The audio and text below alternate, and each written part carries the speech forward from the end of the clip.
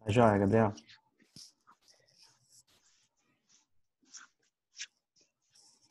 Podemos, então? a gravação. Podemos.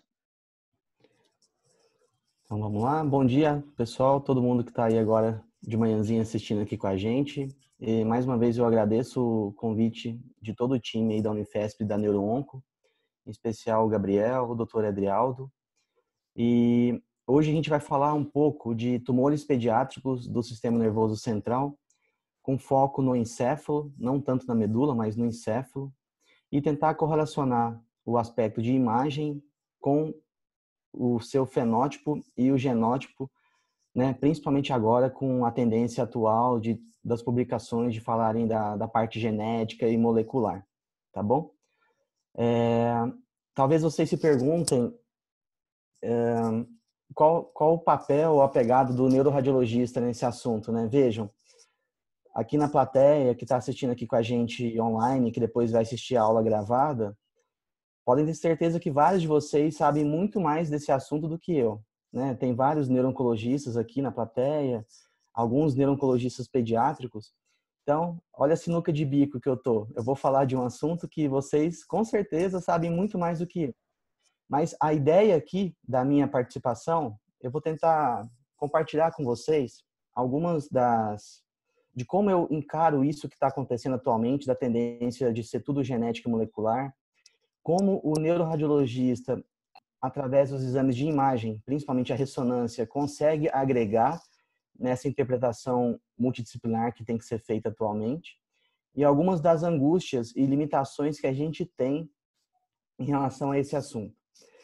É, talvez o, quando você começa a estudar tumor, é, eu brinco com os meninos de que se tem uma coisa que não lê o livro é o tumor. Então, quando a gente pega um livro para estudar tumor ou os artigos que saem, a gente faz o caminho contrário. A gente já parte do princípio que ele está categorizado, bonitinho, em boxes, né? Esse é assim, esse é assim, esse é assado. E quando a gente está diante de um exame que a gente vai laudar o tumor, o caminho é o oposto. Ou seja, eu estou diante de um exame em que eu tenho que, apesar de conhecer as classificações, saber mais ou menos qual caminho interpretar, eu tenho que, como imaginologista, como radiologista, eu tenho que ser um, um observador desapegado. Eu tenho que me atentar àquilo que a imagem está me mostrando nas sequências básicas e avançadas, e a partir daí montar o quebra-cabeça e passar essa informação para frente para o neuropatologista, para o neurooncologista, e aí vai. Então eu vou compartilhar com vocês esse cenário, tá bom? Na visão do neuroradiologista. Combinado? É, vocês fiquem à vontade para me interromper, para discutir, para ser uma coisa bem informal mesmo e interativa, tá? Então, sempre agradeço as pessoas que me ajudam. A gente não faz nada sozinho e muita gente ajuda a gente o tempo inteiro. Agradeço aqui em especial é, o Vitor, que me cedeu o material, o Luiz Felipe também, a Diva, o Tomás, do HCOR, e a doutora Nájila, sempre extremamente querida comigo e atenciosa e me ajuda bastante nas dúvidas sem contar todo o nosso time de fellows e staffs da BP, que são sensacionais, assim. Sem eles, a, gente, a metade do trabalho aqui não seria feito, tá? Essa é o que eu não quero que vocês saiam da aula com essa impressão de que a gente colocou um monte de informação, de conhecimento na cabeça, foi jogando informação, informação, porque se assim for, no final da aula não, não vai ficar memorizado, não vai ficar nenhum aprendizado. De novo, é uma aula prática para eu mostrar para vocês como eu enxergo tudo isso. A parte muito densa de, de teoria, vocês não precisam de mim. Vocês vão na literatura e consultam. Então, eu vou passar a parte prática de como a gente tem enxergado essa situação. Quando a gente vai laudar um exame de tumor, é... primeiro a gente não sabe que aquilo é um tumor. E realmente pode não ser, né? A gente tem várias situações que simulam um tumor. Então eu vou deixar aqui é, nesse, nesse início é, alguns os três primeiros passos que eu acho que são importantes para a gente errar menos, cair menos do cavalo quando a gente está interpretando isso, tá? Esse é o, é o primeiro passo. É, vamos lá, com esse exemplo aqui, ó, um paciente feminino, jovem, com cefaleia e paralisia do sexto e sétimo nervos cranianos à esquerda há um ano, tem essa lesão expansiva no tronco, principalmente na, no aspecto posterior da ponte, do bulbo, com extensão ao quarto ventrículo, discretamente hiperatenuante na tomografia. No T2, o sinal é intermediário. Tem uma certa restrição à difusão, mas não muito, mais um pouquinho aqui na, na borda posterior. No T1, tem bastante hipersinal. E no gradiente, tem uma área mais pretinha, decantada aqui embaixo. Aqui são as sequências flare em cima e T2 embaixo, mostrando que é uma lesão intraxial do tronco, que cresceu posteriormente em situação exofítica por quarto ventrículo. E aqui no T2, novamente mostrando a lesão. Aqui o T1, pré-contraste, a lesão já é espontaneamente hiperintensa. E quando eu faço a subtração, não tem realce, ou talvez um discreto realce aqui parietal posterior. Tá? Então, à primeira vista, a gente pode achar que isso é um tumor. Na verdade, trata-se de um cisto neuroectodérmico, né, do tipo epidermoide, né? É um white epidermoide do tronco, né? Primariamente intraxial. Então, cuidado com lesões que às vezes parecem tumor, mas não é. Isso pode parecer um negócio bobo, mas não é, pessoal. Às vezes diferenciar o que é tumor verdadeiro do que não é, não é, não é tão fácil assim, tá? Esse é um exemplo disso. Tem vários semelhantes na literatura, como vocês podem ver aqui dos artigos, tá? Esse é um outro paciente feminino de um ano com estrabismo convergente à direita, nistagmo e alteração da marcha.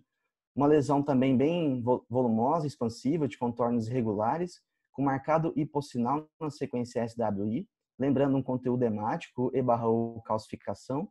No T2 é uma lesão com sinal heterogêneo, tendendo a ter um sinal um pouco mais alto em T2, com essas áreas que parecem grumos, né? Depois vocês vão ver qual que é a nossa interpretação disso aqui. E aqui no pós-contraste, uma lesão lobulada também com realce heterogêneo, 15 meses depois de, do tratamento medicamentoso com propranolol, a lesão tem uma reversão bastante importante das suas dimensões. Ficou aqui uma área de realce, talvez uma DVA associada, que é um cavernoma gigante do tronco cerebral. Então, uma outra situação que, talvez, que às vezes a gente pode confundir com tumor. Lembrar que, esse, que essas lesões vasculares na criança, por conta da alteração do VEGF, elas tendem a responder muito importante ao tratamento medicamentoso com propranolol então, vale a pena, às vezes, a gente pensar nisso e tentar esse, esse tratamento antes da cirurgia, principalmente aqui porque é uma área bastante difícil de ressecção satisfatória. É, então, esse é o primeiro passo, é, diferenciar o que é tumor do que não é. Muitas vezes não é fácil, a gente tem que lançar a mão das técnicas básicas, às vezes as avançadas nos ajudam. O exame de controle sempre é bem-vindo, tá? Então, esse é o primeiro passo que eu queria deixar para vocês. O segundo passo é a gente deixar passar, é, nos livrar desses conceitos errados que a gente pode ter ou tender a ter no início, quando a gente está começando a estudar tumor. É achar que, o, que tamanho é documento, é achar que o realce ou a alteração da permeabilidade capilar me ajudam a graduar grau, a, a, a estreitar é, origens histológicas, perfusão, se é quente ou frio, e a espectro. Quando a gente está estudando tumor pediátrico, é, a gente, sem querer, a gente carrega vários conceitos do que a gente já sabe ou tem aprendido mais com os tumores do adulto, porque a gente vê muito mais tumor de adulto, pelo menos na experiência que nós temos, do que tumores pediátricos. A não ser que você trabalhe num centro que só drena esse tipo de exame. Mas, via geral, os neuroradiologistas têm mais experiência com tumor de adulto do que pediátrico. Em tumores pediátricos, muitas vezes a perfusão e a espectro, elas podem não nos ajudar a estreitar o diferencial ou a falar grau histológico e mais, podem às vezes nos confundir. Então, eu sempre falo isso também para os residentes, para os fellows. A interpretação que a gente vai fazer dos tumores, ela é via de regra nas técnicas básicas, T1, T2, difusão e aí vai. As técnicas avançadas, ou se elas não nos ajudam, elas não podem, não, não devem nos atrapalhar nesse raciocínio, senão a gente erra. Um exemplo bem tranquilo, astrostoma pilocítico.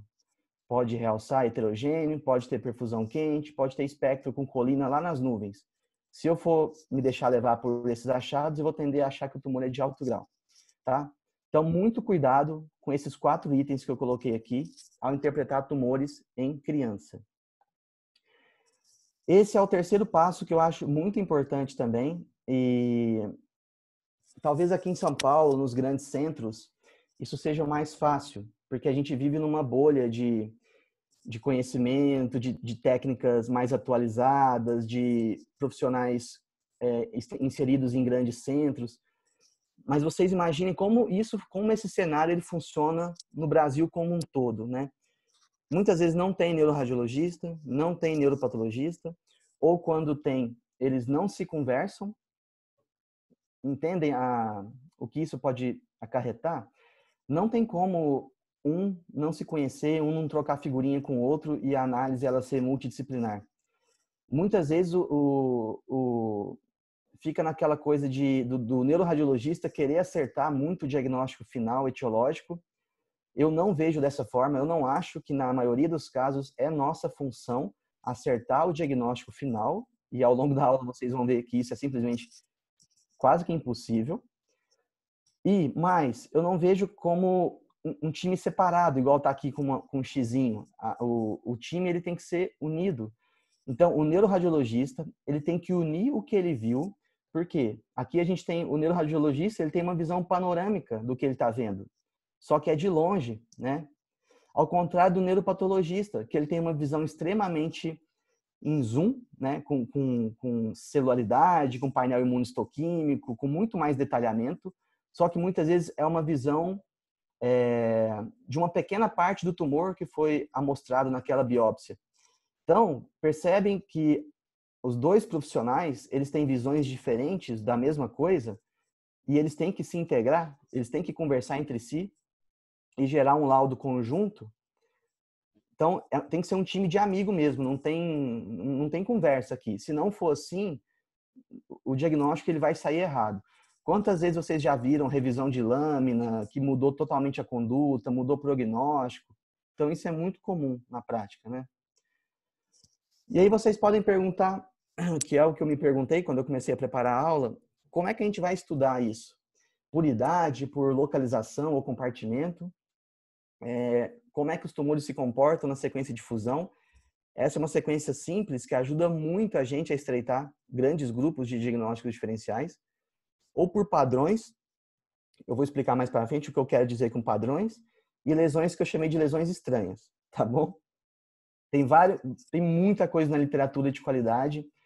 É, eu até quando a gente estava conversando eu e o Gabriel, falei Gabriel, marca logo a aula porque senão eu não vou acabar a apresentação. Você fica lendo os artigos, lendo, lendo e, e tem muita coisa.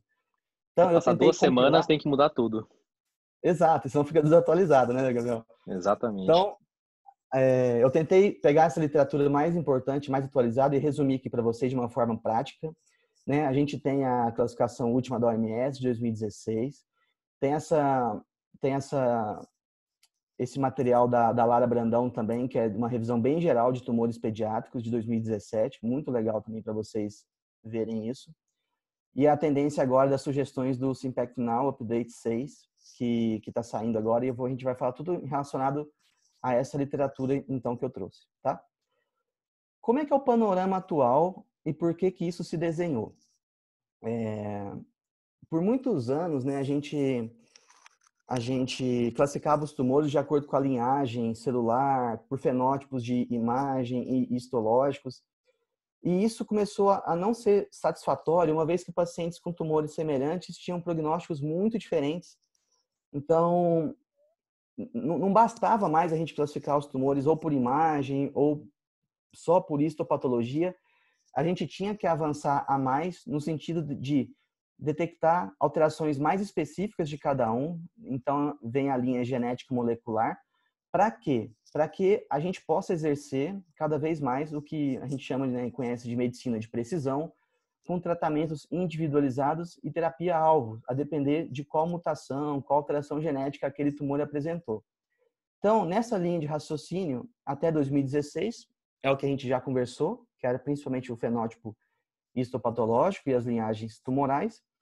E a tendência agora é a gente, além disso, claro, a gente envolver também um perfil genômico, né, genético, e entender as vias moleculares da tumorigênese.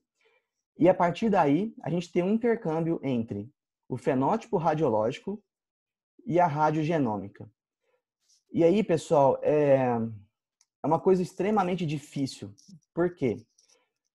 Vários fenótipos de imagem semelhantes podem ser causados por genes diferentes e vários genes iguais ou semelhantes podem causar fenótipos de imagem diferente. Então, esse é um ponto que a gente tem que entender para entender a para ter noção da complexidade que é essa análise e por que é muitas vezes difícil pro radiologista chegar num diagnóstico final e vocês vão ver que na maioria dos casos não é possível, tá? Porque tem sobreposição entre o fenótipo radiológico e a radiogenômica. Por isso a análise tem que ser integrada de novo do radiologista, do patologista. Só para a gente reforçar alguns conceitos que a OMS trouxe né, em 2016, em relação a adicionar novas categorias, como o glioma difuso da linha média, principalmente com a mutação das estonas, a gente vai ver mais para frente. Os tumores embrionários com rosetas de múltiplas camadas, com alteração do C19MC. O ependimoma rela positivo, quando o tumor é supratentorial. E o tumor glioneuronal leptomeningio difuso, que antigamente a gente chamava de oligodendrogliomatose. Além disso, deleção de algumas formas de entidades, como o padrão gliomatose cérebre, mas o tipo de crescimento, entre aspas, do tipo gliomatose, isso a gente pode continuar descrevendo, né, que é quando pega mais do que dois ou três lobos cerebrais. A deleção também dos subtipos protoplásmico e fibrilar. Protoplásmico, inclusive, é o que a gente descrevia antigamente quando via o sinal T2 mismatch flare. Hoje a nossa interpretação é uma mutação do IDH com P19Q não codeletado. Também a deleção da variante celular do ependimoma, abolir o nome PINET e algumas coisas ainda que a gente vai falar muito sobre meduloblastoma e outros tumores embrionários. É... Eu fiz questão de colocar essas tabelas para não para ninguém ficar doido aqui ou memorizar nada disso, é para vocês terem ideia de como é complexo tudo isso que a gente está falando. Olha a tendência atual que a gente tem, por exemplo, de geneticamente definir os tumores Vejam a sopa de letrinhas que é cada gene, cada mutação, cada alteração. E a gente, na verdade, tem que tentar entender tudo isso no contexto correlacionando idade, compartimento, subtipo histológico, e aí poder estreitar as principais mutações correlacionadas. Então, aqui vocês veem várias delas. Aqui nesse, nesses dois outros quadrinhos também, várias mutações. E qual a importância da gente tentar definir e caracterizar essas mutações diferentes para que cada vez mais a gente tenha drogas específicas agindo como terapia-alvo e podendo ter a possibilidade, então, de melhorar o prognóstico dos pacientes. Tá? É, por exemplo, vocês acham que, olhem esses dois casos, do lado esquerdo é um diagnóstico, do lado direito o C e o D é outro. Por imagem, são muito parecidos, né? lesões ovaladas, com hipersinal em T2, ocupando o quarto ventrículo, Concordam que é difícil a gente acertar um diagnóstico aqui? Poderia ser, sempre quando a gente vê tumor pediátrico na fossa posterior, a gente tem aquele acrônimo MANH, né? Que é o meduloblastoma, astrostoma pilocídico, ependimoma. Aqui a gente precisaria da sequência de fusão para estreitar mais, mas só por aqui, por exemplo, seria difícil saber o que é meduloblastoma do que é ependimoma. Às vezes ambos podem exibir um componente plástico, aqui talvez um pouquinho mais. Então, muitas vezes por imagem é difícil essa diferença, tá? Isso, vocês têm que sair da aula entendendo isso. Às vezes a dificuldade que o radiologista tem de fazer diagnóstico muito preciso. E, e aí eu reforço a tecla várias vezes, eu vou falar isso durante a aula. A gente tem que acertar os principais grupos, estreitar alguns diferenciais, mas muitas vezes a imagem se parece entre um tumor e outro, tá bom? Talvez, ao invés de a gente acertar muito certinho qual que é o diagnóstico final, não seria mais inteligente a gente ter essa, essa ideia de distribuição de tumores, por exemplo, na fossa posterior, eu sabia que quando eu vejo um tumor na ponte, principalmente na base pontina, ele deve ser de alto grau, ao contrário de quando eu viro um tumor no aspecto mais posterior, no mesencéfalo, ponte, bulbo, placa quadrigeminal, tende a ser um tumor de mais baixo grau. Ou um tumor que ocupa um quarto, o quarto ventrículo, em geral ele é um meduloblastoma ou um ependimoma, Tumores no cerebelo mais anterior podem ser um baixo grau, um pilocítico, um ganglioma, mas também a gente tem que lembrar dos outros. E aí vai, ou seja, não seria mais interessante a gente entender por compartimento e por grandes grupos, e aí sim juntar a idade com o que eu estou vendo na imagem e poder ir estreitando o diferencial? Eu acho que talvez seja seja um caminho que a gente deve seguir. Então, é, tentando dividir em, grandes grupos uma abordagem inicial entre tumores de baixo e alto grau, esses é um, é, são artigos que falam um deles só de baixo grau e o outro só de alto grau. Por exemplo, as lesões de baixo grau seriam uma doença de via única, já que a maioria está relacionada à via RAS MAPK.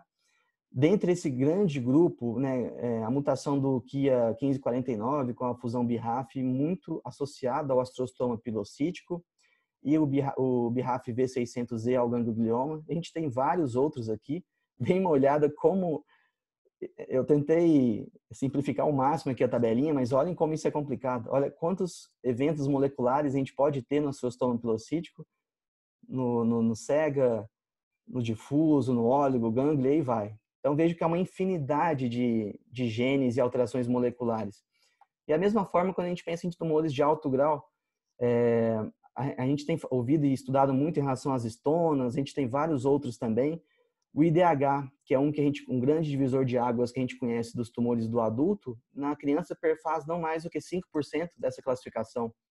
Então a gente tem que aprender a estudar esses tumores pediátricos de uma maneira bem diferente ao que a gente conhece do adulto.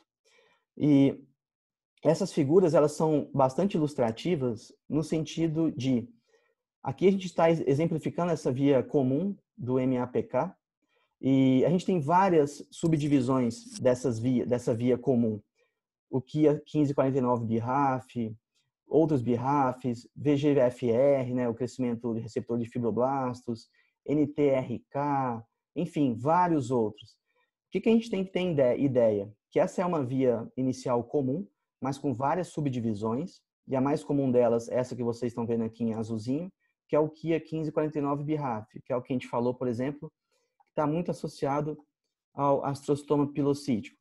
Então, a gente pode tentar pegar essas mutações mais comuns, e nessa figura 3 aqui que a gente está mostrando para vocês, dividi-las em análise por compartimento ou análise histológica. Por exemplo, eu estou diante de um Vamos fazer o contrário, como se a gente estivesse laudando o exame, né? Eu estou diante de um tumor de fossa posterior. Então, eu venho aqui, que é esse, esse azulzinho mais claro.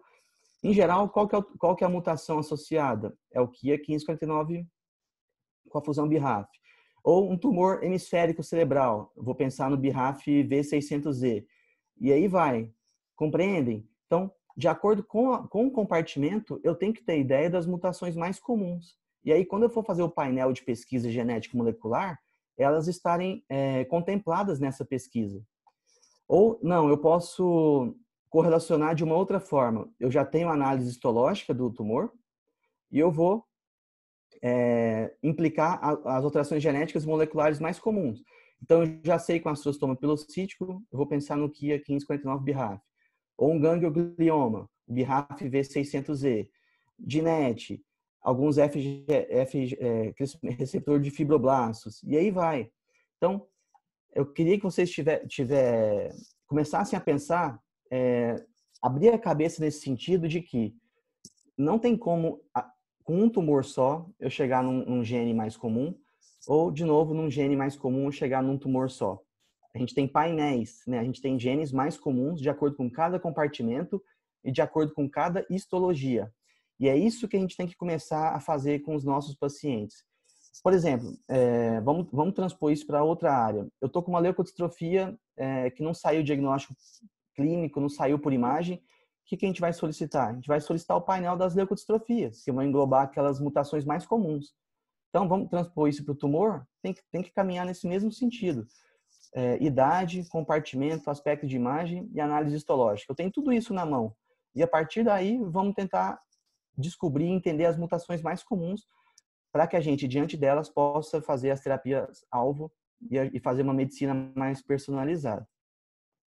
Esse é um outro, um outro caminho de entendimento também em relação aos tumores de baixo grau, principalmente dividindo entre os tumores da linha média e os tumores hemisféricos.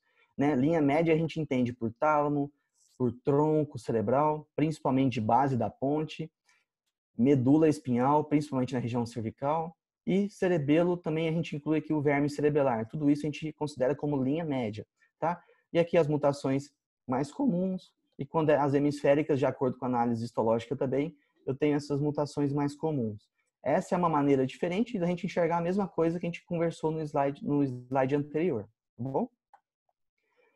Nessa linha de tumores de baixo grau, por exemplo, a gente tem uma entidade nova que vem sendo descrita, que é o tumor polimórfico neuroepitelial de baixo grau do jovem, que ele é, de novo, ele está é, tá relacionado a essa via comum do MAPK, é um tumor geralmente epileptogênico, e ele, ele se assemelha muito à histologia do oligodendroglioma, com artefato, com artefato aqui da fixação, com as células em ovo frito, e ele também tem muita positividade, imunomarcação para o CD34, tá?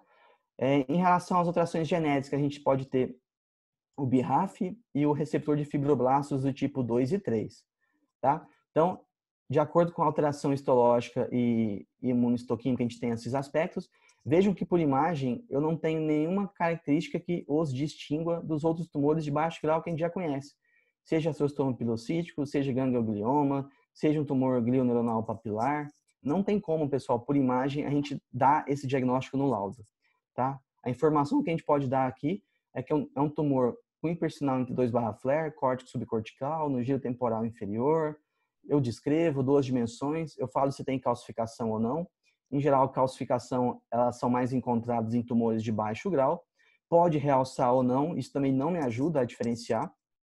Então, vejam a dificuldade que a gente tem hoje em dia de, de dar esses diagnósticos. Imagina a gente, radiologista, laudando esse caso. Jamais vocês vão ver a gente escrever tumor polimórfico neuroepitelial de baixo grau do jovem. Não é por imagem que sai isso, tá?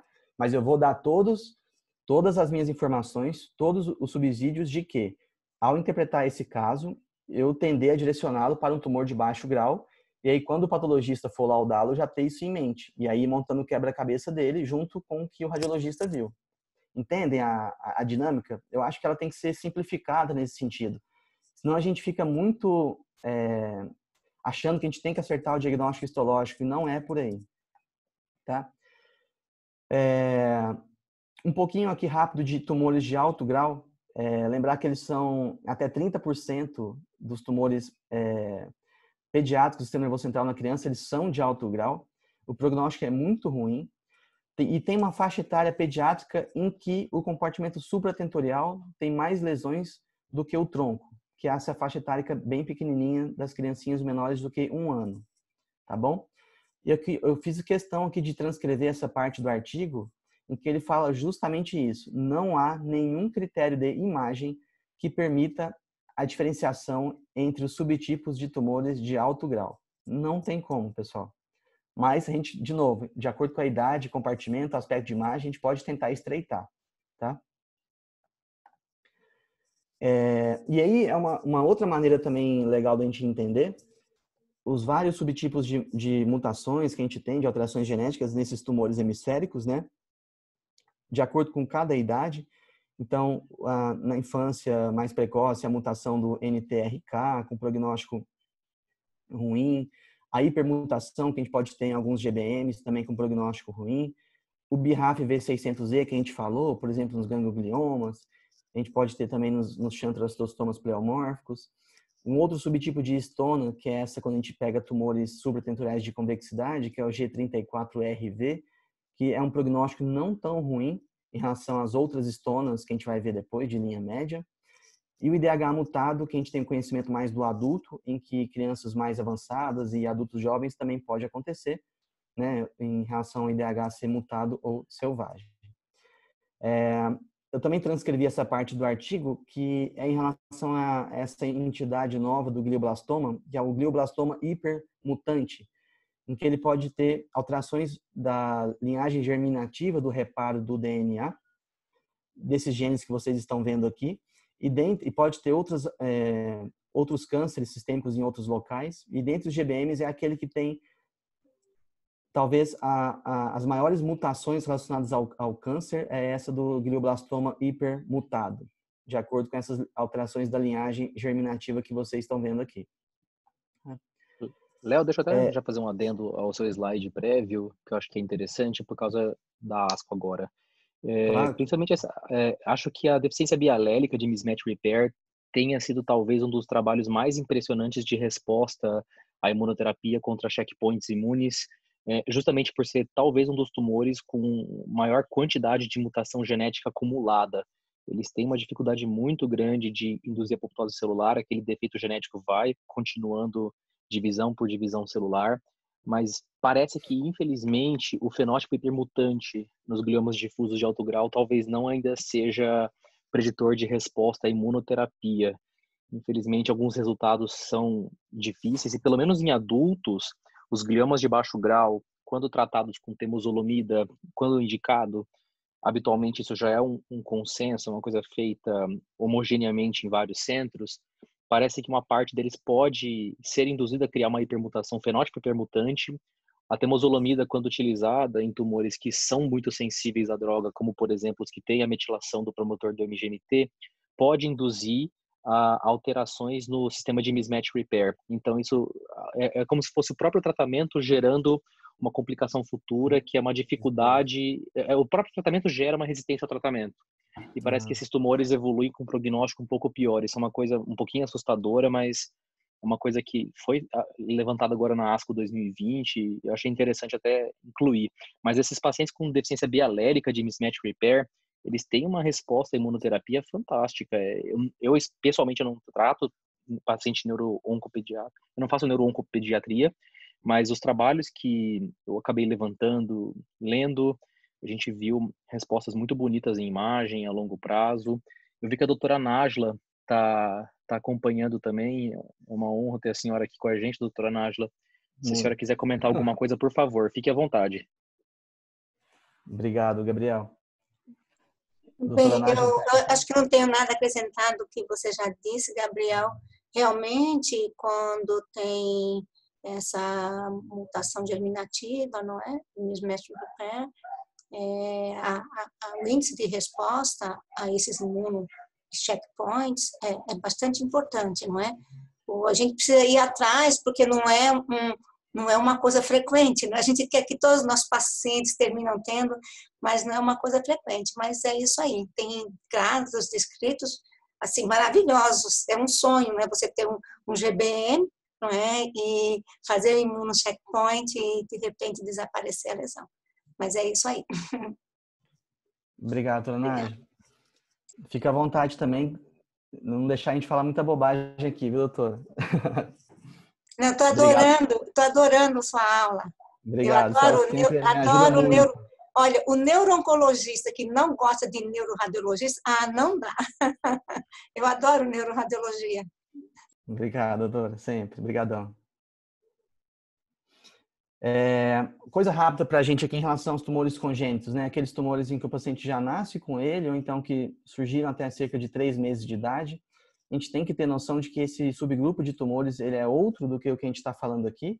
Então, por exemplo, na ressonância fetal já tem essa lesão volumosa crânio-facial, que eu penso no teratoma, principalmente se eu conseguir detectar componente de calcificação em gordura ou um tumor aqui na, na, na, região do forame monro, junto ao, ao suco caldo talâmico, com hipossinal em T2, né, que faz parte do complexo esclerose tuberosa, com astrostomas subependimários de células gigantes. Né? Lembrar que essas lesões elas podem ser bastante volumosas e a resposta ao everolimus, que atua nessa via mTOR, é bastante impressionante. Um tempo que eu rodei um pouco no, no GRAC, eu tive a oportunidade de ver alguns desses casos em que se, se, o, se o se o radiologista que estivesse laudando não me falasse o contexto, é, eu não veria nenhuma alteração na região do, do forame monro ou do suco caldo tálamo, porque geralmente a, a resposta é bem impressionante, é, é bem legal mesmo. É, vamos falar aqui um pouco de tumores embrionários. Vejam a tabelinha do lado direito em azul, a gama que a gente tem de tumores embrionários, né? A gente vai falar um pouquinho sobre eles. É, eu fiz questão também de colocar esse quadrinho laranja porque, de novo, por imagem é indistinguível, tá? Como é, quando eu vou pensar em tumores embrionários, em geral, são lesões que tendem a crescer muito, grandes, crescem rápido, lesões infiltrativas, o realce heterogêneo, o sinal ele é intermediário ou baixo em T2 e restrição à difusão. Por que está em maiúsculo restrição à difusão? Porque das sequências que a gente faz em, em neuroimagem, e aí eu incluo, inclusive as técnicas avançadas, é a mais importante. Não tem como a gente pensar na ressonância num tumor embrionário se esse tumor não restringir a difusão, tá? Veja a importância que é dessa, dessa sequência. Então, é, aqui é um exemplo de um, de um, paciente masculino de três meses com essa lesão bem grande, né, expansiva infiltrativa, frontal direita, comprometendo o córtex, substância branca, profundidade cerebral, com realce heterogêneo. E vejam, o sinal da lesão em T2, ele é intermediário ou baixo, tá? Isso é uma característica que ajuda bastante, além da sequência de fusão, que se a gente tivesse mostrado aqui, com certeza também restringiria, tá? Esse é um caso do tumor embrionário com rosetas de múltiplas camadas, em que eu posso tentar caracterizar a amplificação do C19MC ou não, e aí e por imagem a gente não tem como diferenciar um do outro, tá bom? É, um outro que a gente fala bastante é o tumor teratoide rabidoide atípico, em que por imagem também é o que a gente acabou de falar, são lesões grandes, heterogêneas, com muita restrição à difusão, realce heterogêneo, e o marco dele é a mutação da deleção do, do gene SMARC-B1 ou alteração no braço longo do cromossomo 22 com perda da expressão nuclear da proteína IN1, tá bom? Aqui demonstrado principalmente para vocês. Aqui tem outros marcadores é, imunistoquímicos, mas principalmente o que marca o teratoide rabidoide atípico é a perda do IN1, tá bom? Meduloblastomas. Meduloblastomas talvez seja é, um grande grupo assim de tumores em que a gente começou a entender melhor essa diferença entre uma classificação histológica e uma classificação genético-molecular. Aqui vocês têm toda a linha do tempo do entendimento do, dos meduloblastomas. Né? A partir de, dos anos 2000, começou, a gente começou a entender as vias do Sonic Hedgehog e do Ingles, e aí então é, todo esse conhecimento ele foi surgindo e se solidificando porque a classificação histológica em clássico, desmoplásico, anaplásico ou extensa nodalidade, ela não mais servia para tratar e acompanhar esses pacientes em relação às drogas e ao prognóstico, já que muitas vezes um tumor semelhante na histologia respondia de maneira tão diferente. Então, daí, o surgimento da, da classificação que a gente conhece, do Ingles, do Sonic Hedgehog, do grupo 3 e do grupo 4. É, esses dois primeiros, que têm os nomes que a gente conhece, têm um certo grau de predisposição é, oncogênica genética. Então, o inglês, quando tem mutações do APC, pode se encontrar em pacientes com síndrome de Turcot. O Sonic Hedgehog com mutações de linhagem germinativa da mesma forma no síndrome de Gorlin, SUFO, TP53 na síndrome de Li-Fraumeni, e aí vai. É, isso tudo é muito importante da gente conhecer, porque é, eu, eu, entendo, é, acho muito difícil a situação que às vezes os neurologistas, os neuropediátricos têm que decidir em relação ao tratamento desses tumores, que muitas vezes inclui né, a radioterapia, e como é que eu vou dosar isso num paciente que, já, que às vezes tem que irradiar todo o neuroeixo e já tem uma tendência a ter lesões genéticas é, oncológicas em outros sistemas então, tudo isso é muito difícil e por isso a gente tem que ter esse entendimento para tentar manejar da melhor maneira possível o tratamento de caso a caso. E todos os artigos que vocês vão pegar para ler isso em termos de radiologia, como que eu vou classificar o inglês, o Sonic Hedgehog, o grupo 3 e 4, como é que eu vou tentar fazer isso por imagem? Será que é possível? Então, o que, que vai me ajudar aqui? Né? A topografia, o real, se a restrição, se tem sangue ou não, se tem cisto, calcificação, ah, não, eu gosto muito da perfusão, vou fazer a perfusão T1, vou fazer a perfusão T2, vou fazer a espectro. Vejam, pessoal, é, tudo isso ajuda, mas é, vejam, muita literatura traz, por exemplo, a gente tentar caracterizar o pico de taurina aqui no, no, no tempo de eco curto. Olhem como é como a amplitude desse pico ela é pequena. Então, por favor, não espere encontrar isso para pensar no meduloblastoma. Muitas vezes é um pico muito pequenininho que a gente confunde com a linha de base. Então, tem isso na literatura, mas na prática isso não ajuda. O que, que ajuda? Topografia, e a gente vai falar delas em seguida, realce e restrição. O resto, pessoal, não vai ajudar a gente a diferenciar a diferenciar os grandes grupos, tá bom? É, Léo, posso interromper só um pouquinho? Claro, doutora. É, esse pico de taurina, o tamanho do pico tem a ver com o tipo de meduloblastoma? Uh, eu não sei te responder isso com precisão, não, Sueli, mesmo porque eu não uso isso na prática, sabe? Não sei te falar se, se um subtipo tende a ter mais do que o outro, não sei.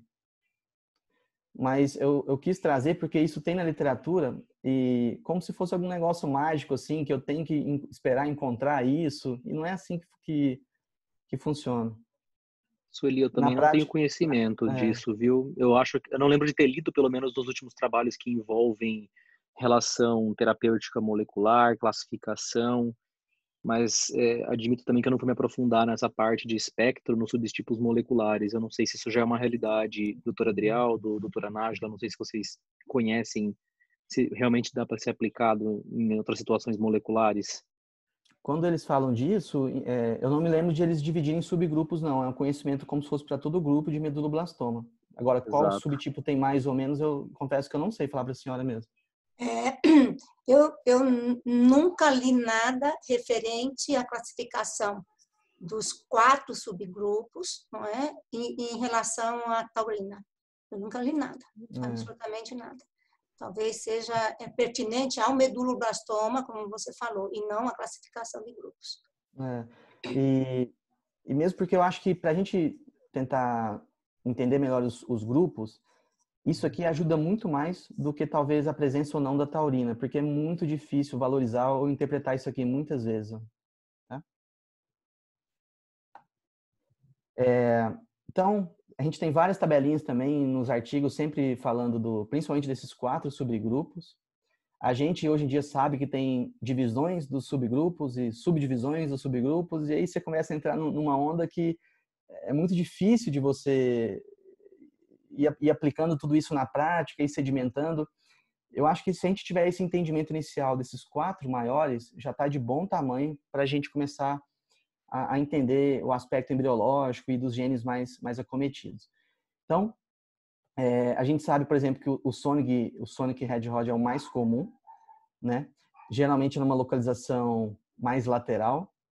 O Ingles, ele tem uma localização na linha média ou paramediana. Eu vou falar depois tudo melhor isso aqui para vocês, tá? E a gente tem o grupo 3 e 4, que ambos são de, de linha média. O grupo 3 é o pior prognóstico, com muita tendência a fazer meta leptomeninge à distância, né? E aqui um resuminho teórico também em relação aos quatro subgrupos, que eu não vou me atentar aqui agora, porque eu acho mais fácil explicar é, por imagem. Então, é, a gente tem que ter uma noção prática da embriologia do tronco, da fossa posterior do quarto ventrículo, para entender é, de uma maneira aplicada que é, o, o, a, essa, esse subgrupo, o inglês, ele, ele se origina do lábio rômbico inferior, que é essa região que margeia o aspecto mais inferior aqui do quarto ventrículo, forma essa porção mais baixa aqui do tronco, e o Sonic Hedgehog, ele se origina do lábio rômbico superior, que depois está implicado na formação das células granulares do córtex cerebelar, tá? Então aqui o lábio rômbico inferior e o lábio rômbico superior, e esse entendimento básico para a gente ter uma, uma, entender por que, que cada tumor se localiza em tal lugar. Né? Então, o inglês, eu vou ver ele principalmente na linha média ou em situação paravermiana, aqui junto ao véu medular inferior, junto ao pedúnculo cerebral médio, a cisterna do ângulo ponto cerebelar. O Sonic Hedgehog mais localizado na periferia dos hemisférios cerebelares, por quê? Porque ele se origina do lábio rômbico superior, que vai formar a camada granular do cerebelo. E o grupo 3 e 4 mais nessa região da linha média. É, então, aqui a gente tem só, só as imagens de cada subgrupo. Como é que a gente vai tentar predizer cada subtipo pela imagem? Dois critérios só, por imagem. Localização e realce, certo? Então, inglês, linha média ou paramediana, cisterna do ângulo ponto cerebelar, pedúnculos cerebelares médios, Sonic Hedgehog, periferia dos hemisférios cerebelares, grupo 3 e 4, linha média, e o 4 é aquele que menos realça, tá bom? Então, de acordo com os quatro, é, de acordo com duas, duas características de imagem, a gente vai tentar predizer os quatro subtipos é, moleculares do, do meduloblastoma. Ah, não entendi, ainda está confuso. Então, vamos lá, para a gente fixar bem. É, esse é o inglês, tá? Que é o que eu falei que se origina no lábio rômbico inferior, na linha média ou então em situação mais para mediana.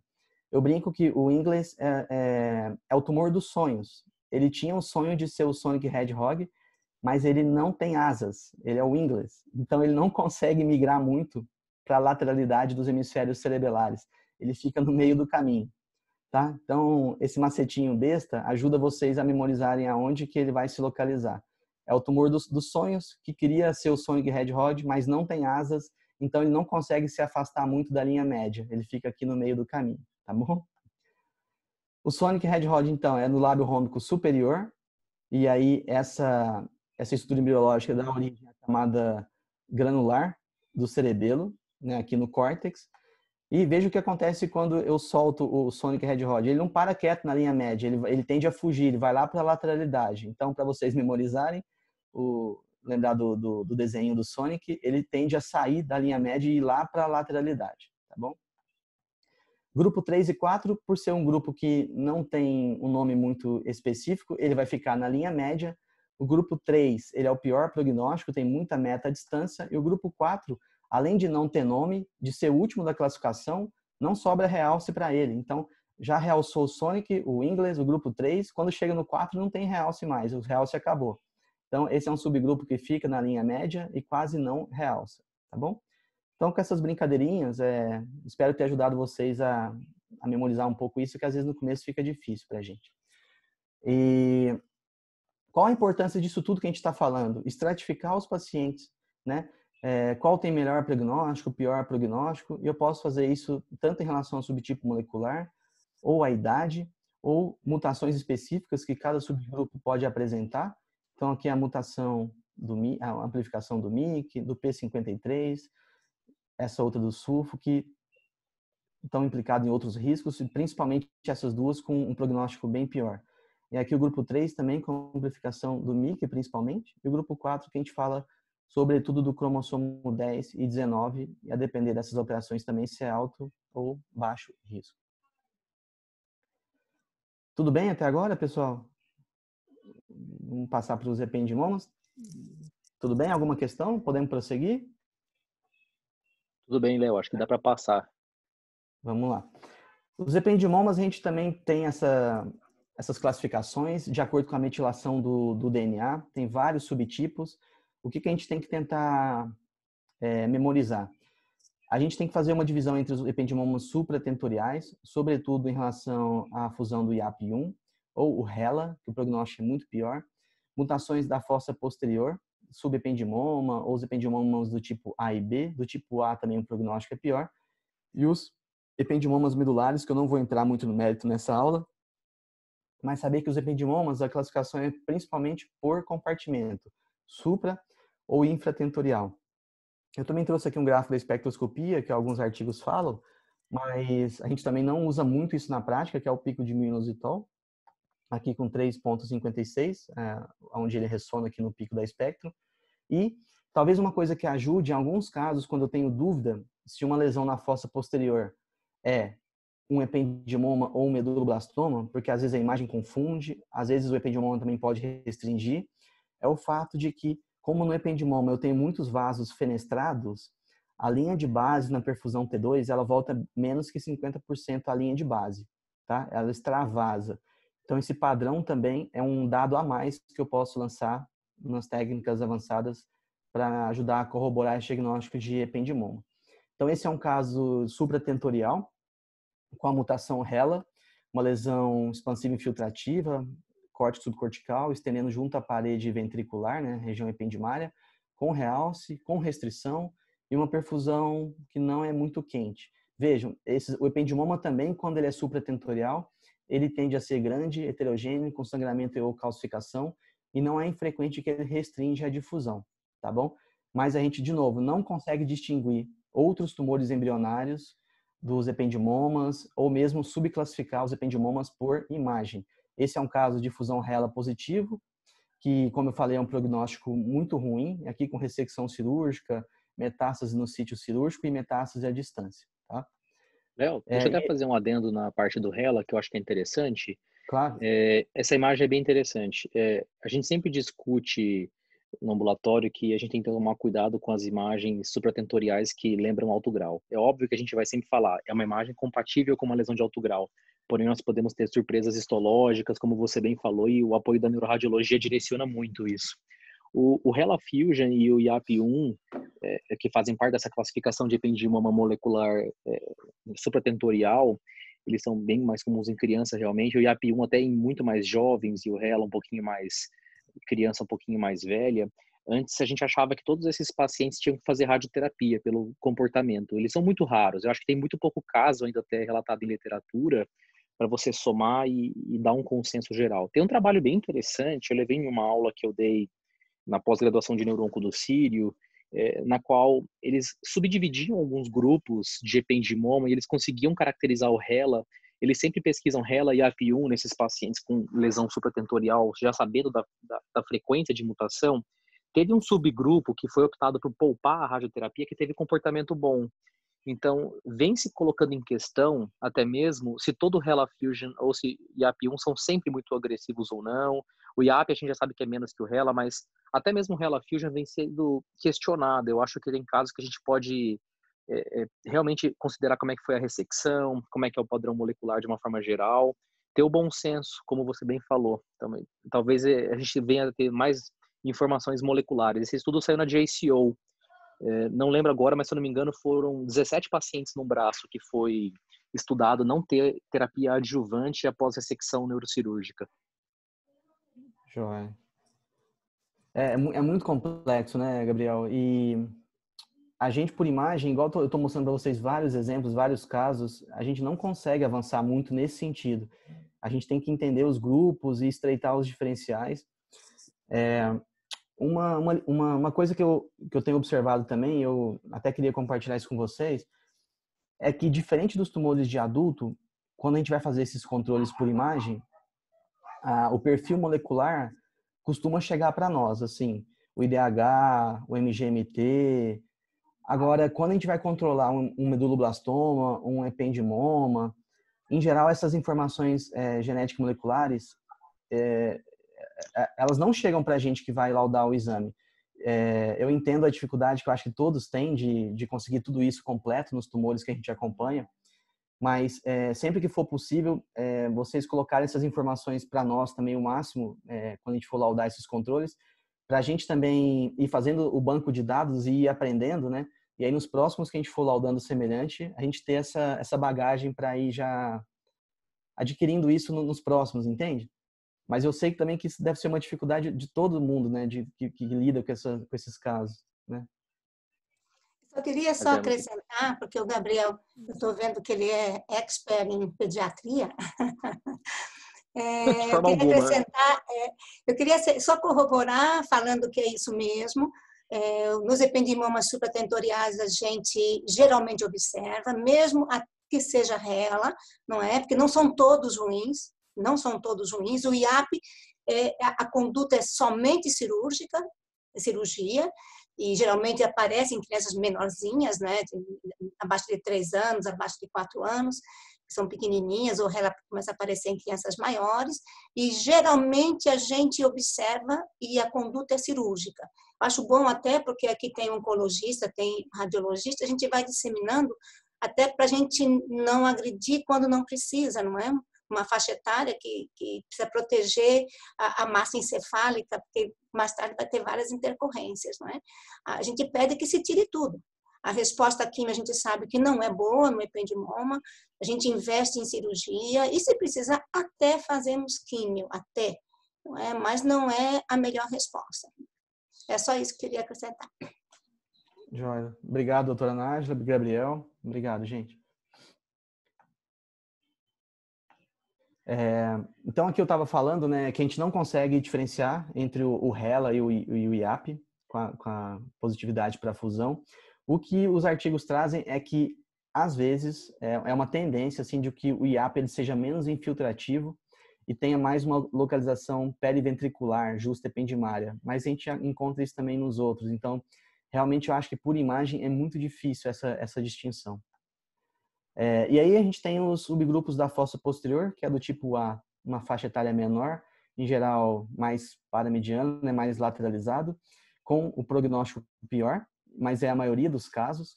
E a gente tem o tipo B, que são esses tumores mais de linha média e com prognóstico um pouco mais favorável em relação aos do tipo A, tá? Mas é só uma tendência de, de por imagem, a gente distingui-los entre os mais periféricos ou paramedianos, tipo A, e na linha média do tipo B.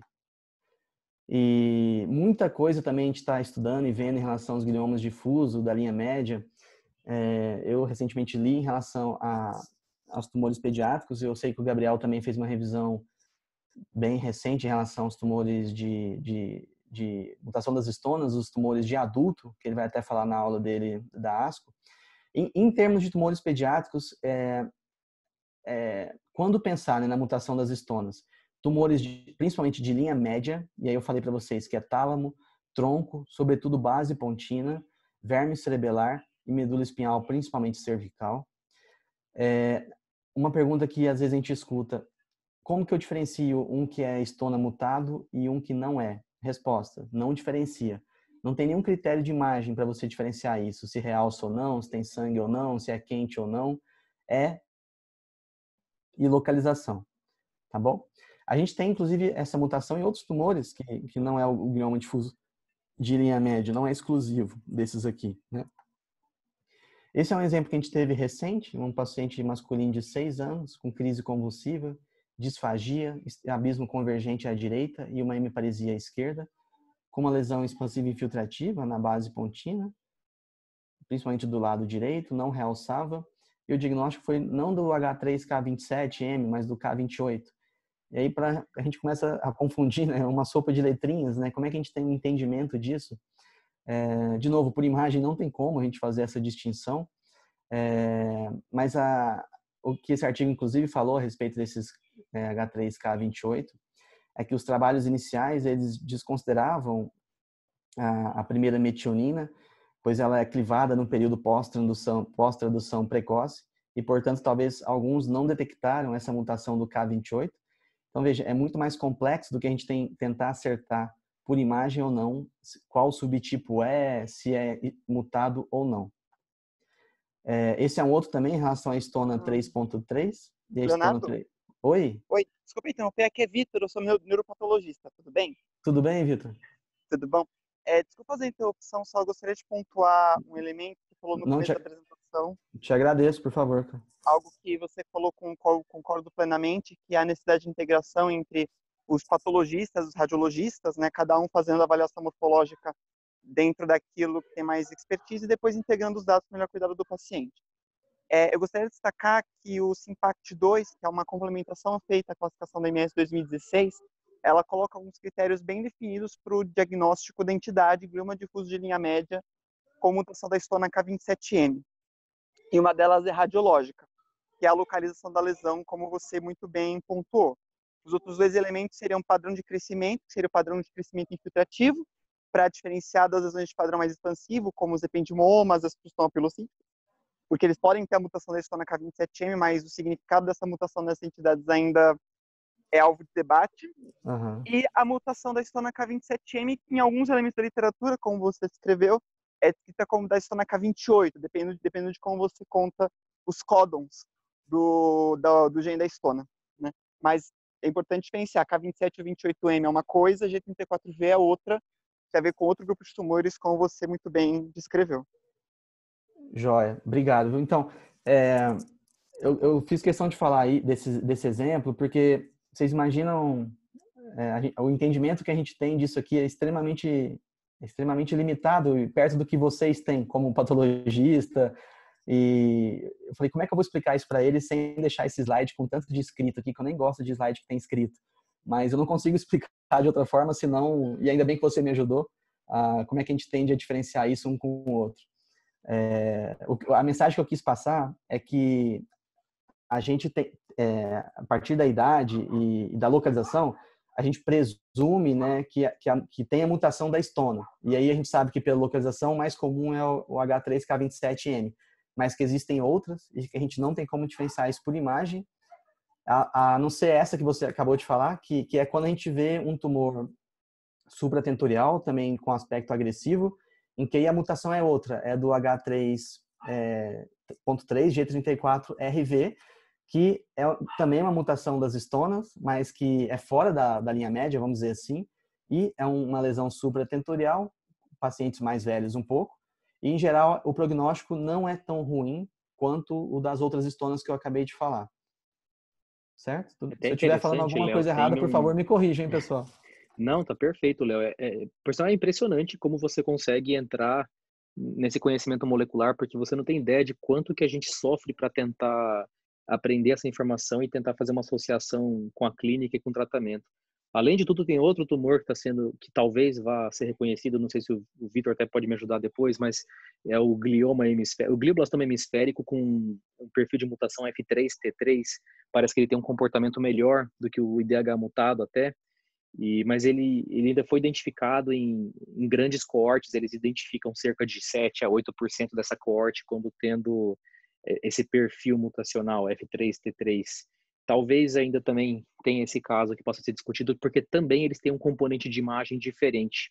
Parece que a radiômica desse tumor é diferente. É um artigo que saiu recentemente, é, foi aprovado agora como Advanced Articles na Neuro-Oncology, e quem sabe a gente ainda tenha notícias também desse tipo. Eu acho que de glioblastoma a gente vai ter mais de 10 tipos facilmente, 10, 20 tipos facilmente. Daqui a pouco vai virar que nem distrofia muscular, doenças genéticas de uma forma geral. Vai ficar bem complicada a coisa.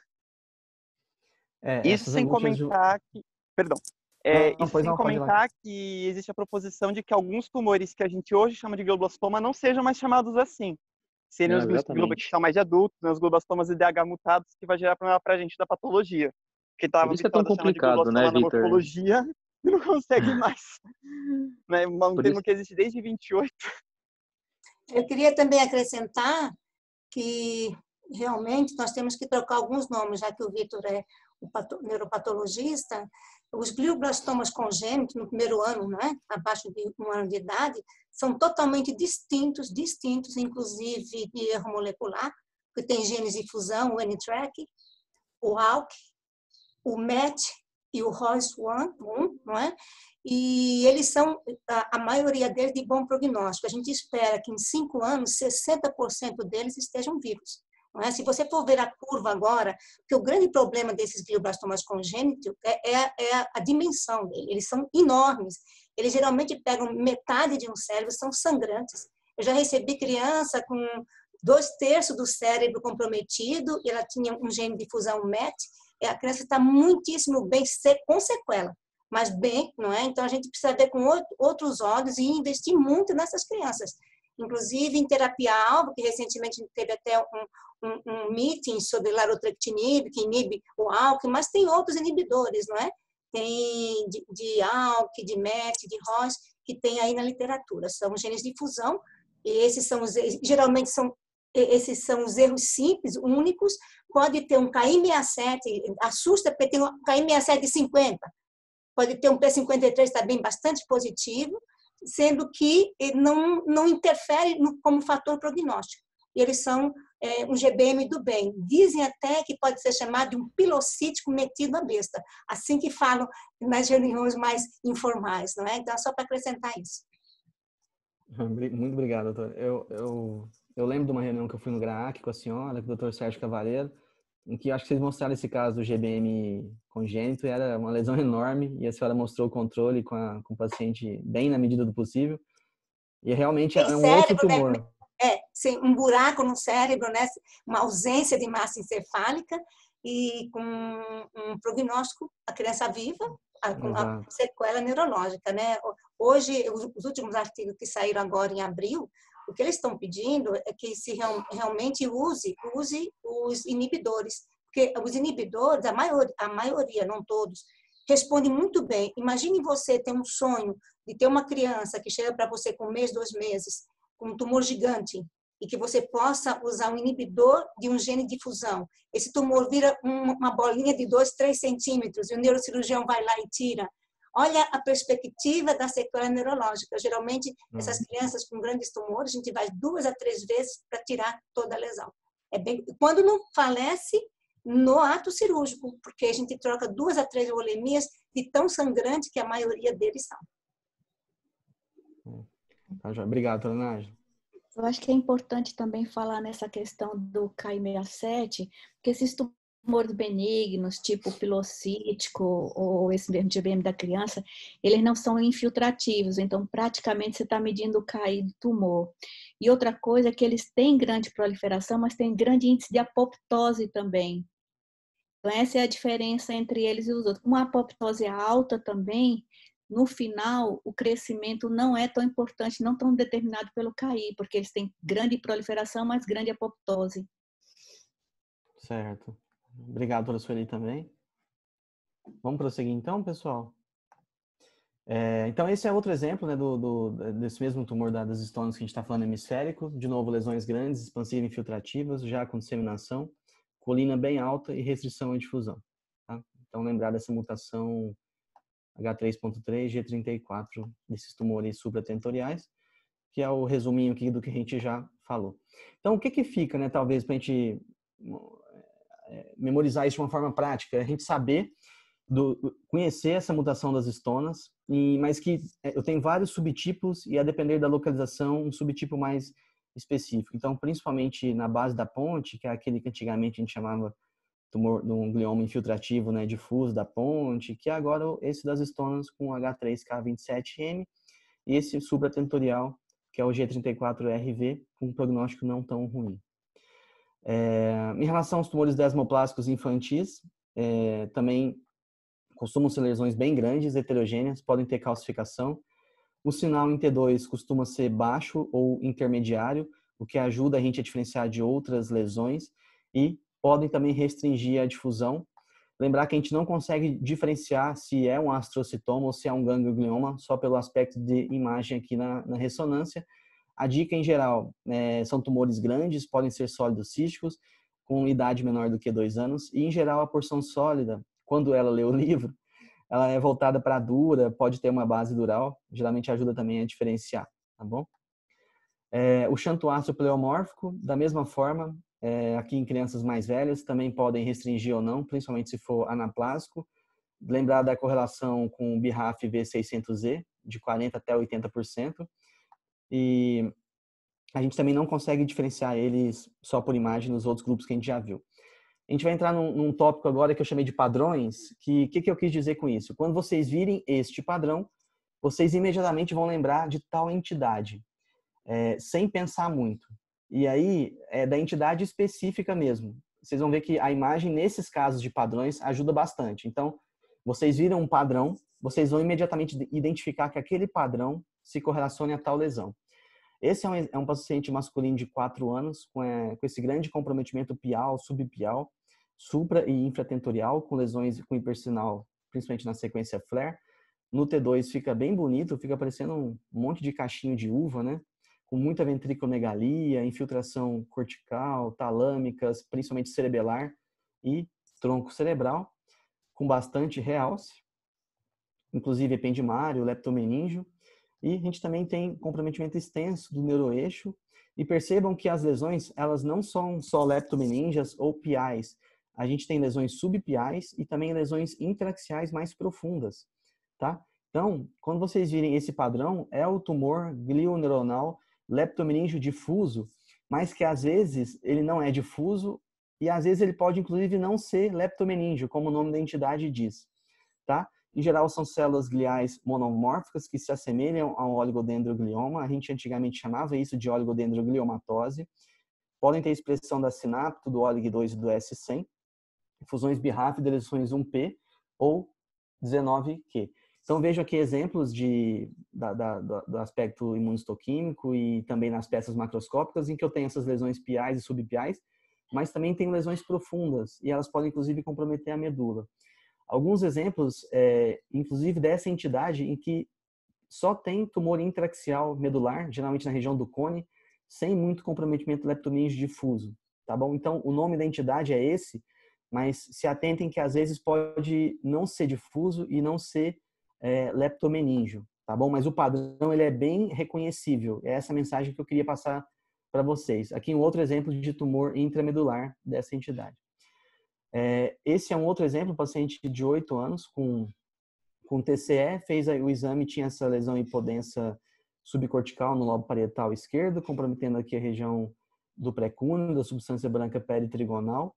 Não são lesões císticas, porque apesar de elas terem alto sinal em T2 e flare, quando eu faço a sequência fiesta, o sinal é intermediário. Então, são lesões micronodulares agrupadas, tá? É, aqui um outro exemplo, também na mesma entidade, lesões microagrupadas confluentes subcorticais com extensão à camada mais profunda do córtex. Em geral, não tem muito efeito expansivo, podem brilhar na sequência de fusão, mas não restringem, não realçam. E aqui é o aspecto também na, sequência flare volumétrica e num, num flare 3D que a gente fez só para dar uma visão mais panorâmica tridimensional dessa lesão, que é o que a gente conhece como tumor glioneuronal multinodular vacuolar. Veja que interessante, até um mês atrás eu tinha montado esse slide, e aí depois quando a gente foi ler e o, e o Silmário, nosso fellow, apresentou a, a tendência nova de classificação do Simpact Now, eu, eu tive que mudar o slide porque o entendimento parece que mudou um pouco. A gente, inclusive, colocava no laudo antes que a, a nossa interpretação era de que isso fosse mais uma, uma lesão displásica ou microamartomatosa do que uma neoplasia verdadeira. É, mas a tendência agora mudou um pouco, e vocês vão ver no próximo slide. Geralmente são células neuronais e gliais vacuolizadas, igual eu falei para vocês, dispersas na camada cortical mais profunda ou na substância branca subcortical. E era considerada uma lesão não mitóquia, né, uma dentate lesion. Em geral, os pacientes são assintomáticos. Alguns casos na literatura vêm associados a cefaleia ou convulsão, mas na grande maioria das vezes os casos que a gente vê são achados de exame em paciente assintomático. Mas agora com a tendência que é, do, do Now é que a gente considere isso de novo como sim um tumor dentro dessa categoria de tumores neuronais e neurogliais mistos, uma vez que essas alterações abrigam é, lesões genéticas clonais, o que favorece, portanto, uma origem neoplásica e não malformativa displásica ou amartomatosa, que era uma tendência que a gente vinha adotando nas nossas discussões e nos nossos relatórios. Tá? É, aqui um grupo de lesão estranha. Veja, um paciente feminino de 16 anos com cefaleia, vômitos, hipertensão intracraniana, lesões nos átrios dos ventrículos junto ao glômus, com calcificação bem grande, maior do lado direito, com sinal baixo na sequência T2, é, calcificação, hemorragia, não restringia a difusão, e com muito realce, muito realce. Quando a gente fazia as técnicas avançadas, a lesão bastante quente. Nesse contexto é difícil um pouco essa interpretação, porque lesões relacionadas ao plexo coroide, elas costumam ser quente, já que não tem barreira hematoencefálica, mas chamava atenção que era muito quente. Além disso, o pico de colina bem estourado, denotando muita quebra de membrana e alto turnover celular.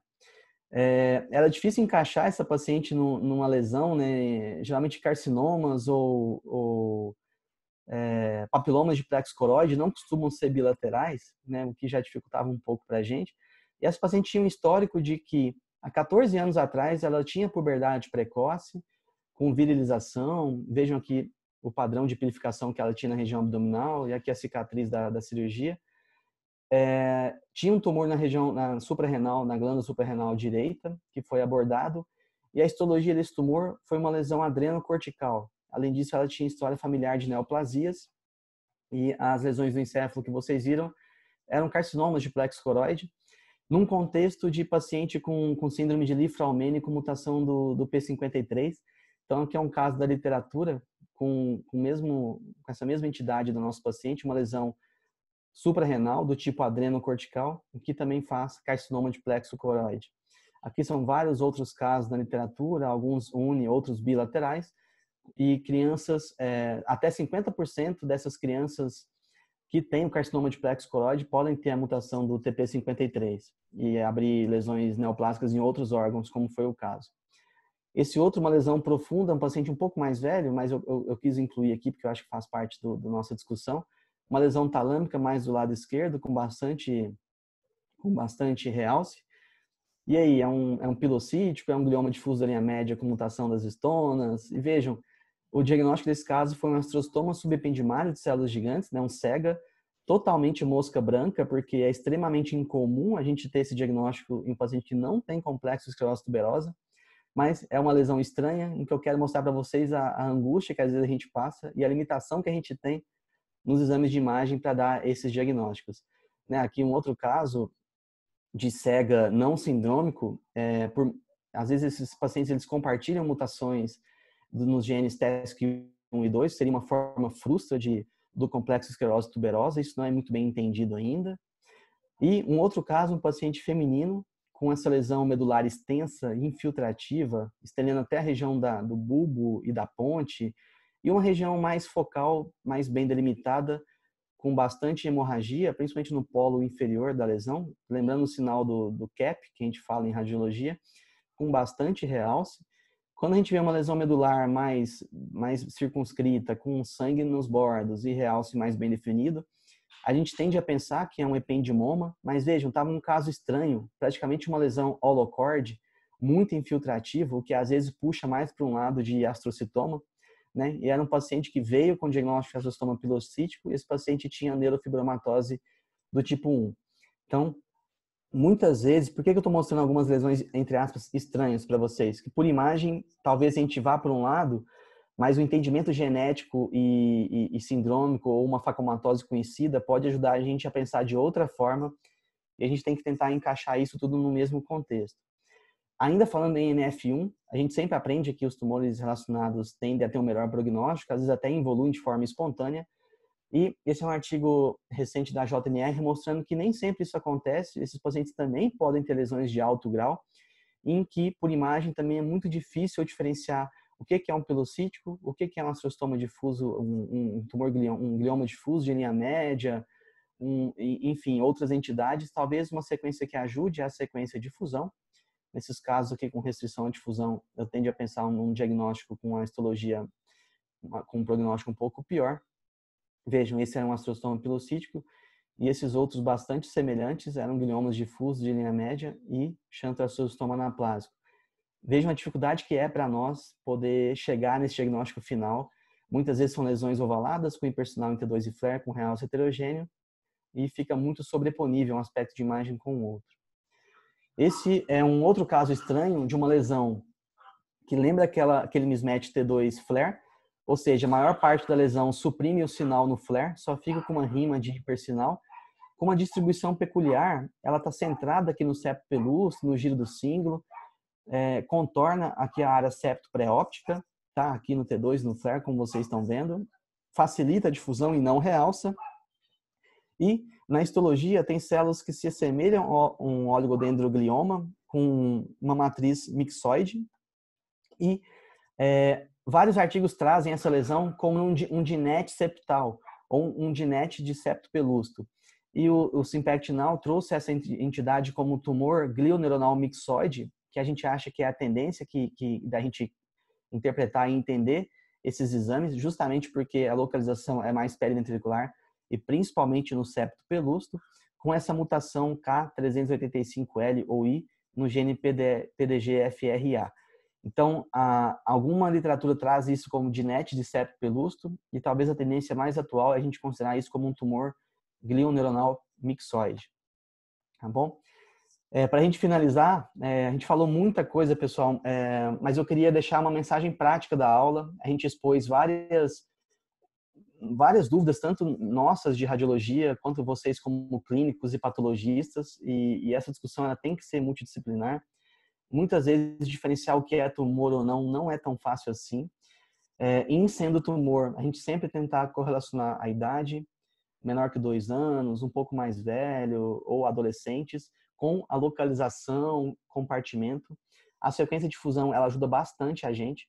Podem ver que poucas vezes eu falei em técnicas avançadas nesse contexto aqui que a gente está discutindo. Elas podem nos ajudar, mas não é baseado nelas que a gente vai fazer a interpretação de imagem. Sempre, pessoal, é, neuroradiologista ele tem que ser amigo do neuropatologista e conversar em conjunto todas essas informações que nós discutimos a gente tem que continuar se atualizando em relação ao que sai de genética e molecular. É, quando eu comecei a aula, talvez alguns de vocês não estivessem online ainda, mas eu disse que eu estava numa sinuca de bico aqui, porque eu vou falar, eu falei de um assunto em que vários de vocês da audiência sabem muito mais do que eu. Vocês viram as discussões que a gente teve em relação durante a aula, mas a minha missão aqui era tentar passar para vocês como o radiologista encara tudo isso e pode tentar ajudar um pouquinho nesse manejo dos pacientes, discutindo junto com vocês sempre caso a caso. Tá bom? Mais uma vez, muito obrigado pela presença e pela paciência de vocês. Espero ter ajudado um pouquinho nesse entendimento em relação a tumores pediátricos. De novo, Gabriel, muito obrigado pelo convite, meu amigo. Leonardo, você ajudou muito. Excelente aula. Excelente. Parabéns, Leonardo. Você Obrigado. é o máximo. São, máximo. São, mais, são mais dúvidas, né, doutor? Não, parabéns. Você conseguiu falar de todos os tumores pediátricos com uma gabardia, assim, um, um jeito maravilhoso, não é? Só entendendo muito para poder falar desse jeito. Gostei muito, aprendi muito hoje, hein? Parabéns, parabéns. Imagino. Eu, eu que aprendo aqui sempre com vocês e a gente é um é isso aqui no, no, na ajuda aí dos pacientes. Né? Obrigado a todos. Gabriel, obrigado de novo pelo, pelo convite e estou à disposição de todo mundo para alguma dúvida. Léo, deixa eu é, vou passar a primeira palavra para o doutor Adrialdo, para ele fazer as considerações. Depois também quero parabenizar eh, falando algumas coisas específicas. Professor, claro. é, doutora Suzana também. Acho que você está com o microfone desligado, professor. Pronto, primeira coisa, Léo, parabéns, assim, você tem se superado. A sua outra aula foi excelente, essa de hoje foi, então, muito, muito, muito boa. Te agradeço imensamente. É, só um comentário rápido sobre a taurina. É, quando foi. Porque os trabalhos iniciais para tentar balizar essa curva né, e colocar, citando a taurina como, como um possível marcador de medula, eles são do começo dos anos 2000, acho que 2004, o primeiro trabalho. E, de fato, assim, de lá para cá, embora ainda tem gente que fale isso, não, nunca se fez direcionando para os subgrupos. Então, aquela pergunta da Sueli, de fato, não há é uma especificação da literatura se há diferença de taurina em relação aos vários subgrupos de medula. Ela serviria muito mais para você diferenciar, por exemplo, é um medulo de um astrocitoma é, pilocítico, eventualmente. Então, foi mais nesse sentido que, que se pesquisou isso daí. Isso da, da questão da taurina. É, eu quero agradecer também a presença da doutora Najla. Eu acho que foi muito bom ter no grupo hoje a doutora Nájila participando. Fica o convite para a senhora, para a gente faz essa reunião semanalmente às terças, então sempre que a senhora puder participar, vai ser excelente, acho que só aumenta o nível da nossa discussão. Então, muito obrigado. Léo, mais uma vez, foi espetacular. Agora eu passo para o é, Eu só agradeço também vocês. Eu eu sou muito feliz de poder fazer parte do grupo e sentir vocês como amigos, não só como colegas de trabalho que eu, que eu admiro e sei da competência técnica, mas eu acho que isso que a gente faz faz toda a diferença de, de ter um grupo unido, que se ajuda. O senhor, o Gabriel, a doutora Nájila, a doutora Suzana, não sei se está online também. Sem palavras, assim, é, a gente só, só cresce, só aprende com isso, os pacientes só ganham. Muito obrigado mesmo. Léo, até queria pontuar, eu gostei muito daquele início quando você falou da participação da neuroradiologia com a neuropatologia. Até a gente teve vários exemplos hoje que o Vitor pôde dar a opinião dele e ver como isso acrescenta e como o neuropatologista tem um conhecimento invejável sobre é, todos esses tumores que nós tentamos aprender. O que eu acho interessante dessa reunião, é, eu acho que antes de mim, doutora Suzana em primeiro lugar, doutor Adrialdo, doutora Nájila, criaram um ambiente multiprofissional que eu não teria a menor capacidade de sair sabendo o que eu sei ou conseguindo até mesmo atender um paciente se eles não tivessem criado esse grupo. Então, eu acho que ninguém consegue tratar neurooncologia, seja na pediatria ou no paciente adulto, se você não tiver apoio de outras pessoas de outras áreas, inclusive segundo opiniões da sua mesma área. Eu acho que no final a gente tem que lembrar que toda essa ciência que a gente faz, Infelizmente, no momento, muito a gente não consegue entregar de sobrevida para o glioblastoma. Graças a Deus, na criança, como a doutora Nájila mostrou, elas estão tendo um desfecho melhor. Eu acho que isso é um, é motivo de alegria muito grande. Mas tudo no final, 100% se resume a um paciente, uma família sentada na sua frente, que você vai ter que dar um caminho das pedras. Esse caminho tem que ser o melhor possível e você vai ter mais segurança se tiver mais gente comentando e opinando e pesquisando. Então, eu acho que quanto mais dúvidas e hipóteses diagnósticas você tem, lembrando da humildade que a gente não conhece tudo e que toda semana temos novas informações, a gente tem que esperar análises moleculares, inclusive a gente tem que fazer diagnósticos retrospectivos, porque a gente não consegue prever o comportamento tumoral muitas vezes. Então, eu acho que unir um grupo grande de várias disciplinas é, e também da sua própria disciplina para opinar e, e, trocar figurinha, eu acho que faz toda a diferença pro paciente. A gente aprende, eu acho que isso supre nossa nossa dúvida, nossa curiosidade científica, nosso, vou dizer ego, porque isso é verdade, mas se no final o paciente sair melhor e o paciente tiver um desfecho mais adequado, eu acho que essa é a resposta final que o médico deveria se sentir mais satisfeito. E, então, acho que isso que você pontuou é verdade. Então, olha como o radiologista que não está, eh, muitas vezes não está na frente do paciente, tirando, acho que o que faz mais ultrassom, eu imagino, como vocês também mudam o, o paciente. Então, os nossos pacientes vão melhor ou pior, ou também a depender do radiologista. Então, como não ter o radiologista por perto, ou um patologista, um radioterapeuta, ou oncologista clínico, e eu posso citar mais 10, 12 áreas diferentes. Então, muito obrigado pela participação. Eu, eu fico impressionado e até estimulado a estudar cada vez mais como, como você consegue entrar em diversas patologias tumorais de uma vez só em pouco tempo e ser conciso e trazer uma, a informação resumida. Eu acho que isso é uma característica individual sua e por isso a gente faz tanta questão de ter você aqui falando. Eu acho que você acrescenta muito até para todos que não estão em São Paulo, nessa bolha que você falou eu, eu sou de uma, eu sou do Mato Grosso. Nós temos uma dificuldade grande de fazer uniões em outros estados. É, a concorrência a, em São Paulo a concorrência é grande, mas é muito difícil você se separar e não ter grupos. E, em outros estados às vezes não. Então a gente não pode trabalhar sozinho. Eu acho que nenhuma área da medicina. Então parabéns por essa informação que você traz e novamente, parabéns e você pode ficar orgulhoso dessa aula que você deu. Acho que ela foi impressionante. Eu que agradeço, pessoal, todo mundo. Obrigado mesmo, sempre. Mais alguém tem alguma pergunta ou gostaria de, de colocar alguma coisa para o Leonardo, doutora Adrialdo, doutora, doutora Suzana, Sueli, Nájila? Alguém eu, gostaria de eu perguntar? Eu cheguei atrasada, infelizmente, desculpe, porque eu fui resolver um problema, uma urgência de uma paciente e cheguei só para o finzinho. Queria pedir se vocês depois pudessem compartilhar o vídeo, né? As aulas do Léo são sempre excelentes e a gente sempre aprende muito. E fico super feliz de ver que todo mundo unido consegue fazer a neurooncologia ficar menos pesada e menos difícil. A gente precisa um do outro para trabalhar e isso é a melhor coisa que a gente pode fazer pelos pacientes e por nós mesmos, né? Parabéns para todos, parabéns pela aula do Léo e continuem sempre nesse caminho bom. Obrigado, doutora Suzana. Doutora Suzana é, é a minha mãe, é, eu considero uma mãe, né, doutora? Eu ah, tenho vários filhos, graças a Deus, cada um que me dá mais orgulho. Jamais eu teria filhos bons assim de mim mesma, mas é muito bom.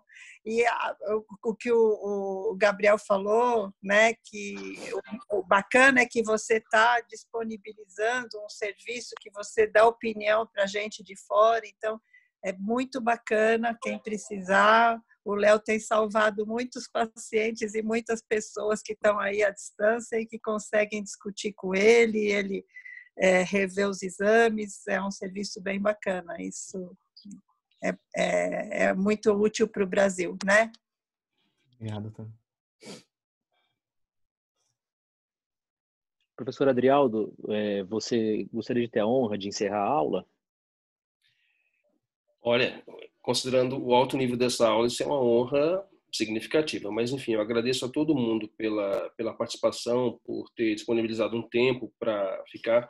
Só um comentário rápido, achei interessante ouvir das pessoas que estão assistindo, tem gente até de outros estados, de Fortaleza. Eu quero agradecer, então, esse pessoal que vem e começa a ajudar a difundir a ideia desse grupo, dessa reunião agradecer mais uma vez ao Léo, agradecer a doutora Suzana, que o Léo já falou, né, ela que começou, então tudo que a gente faz hoje é só dar continuidade ao que ela nos ensinou, então acho que é sempre bom, nunca vou deixar de reconhecer isso.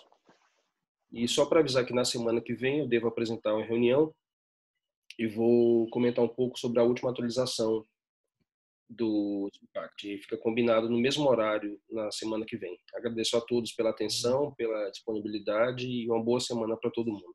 Obrigado.